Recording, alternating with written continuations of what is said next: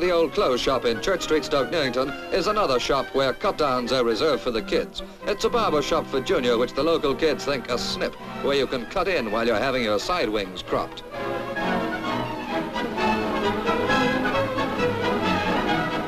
Toys for boys in place of the barber's chair mean an end to that last in the queue racket for kids.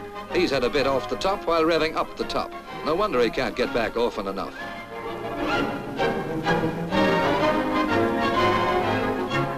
In goes Jocelyn, and now the window watchers will have to watch out. You know what these women drivers are. Timing her are Valerie and Baby Mike's not waiting for his flip.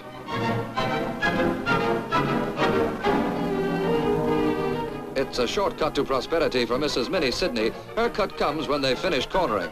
What a sideshow for the local kids. Soon she'll need to buy a two-seater.